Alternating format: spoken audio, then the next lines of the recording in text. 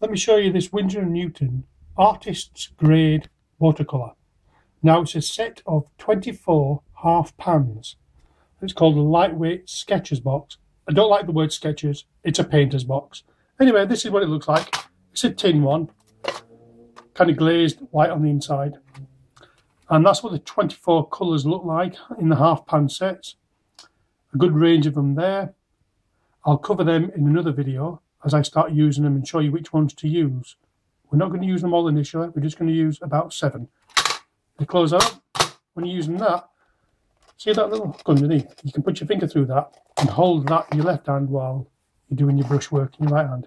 Inside the box also comes with this uh, colour range swatches showing the full range of I think 96 in the range, but you don't need 96.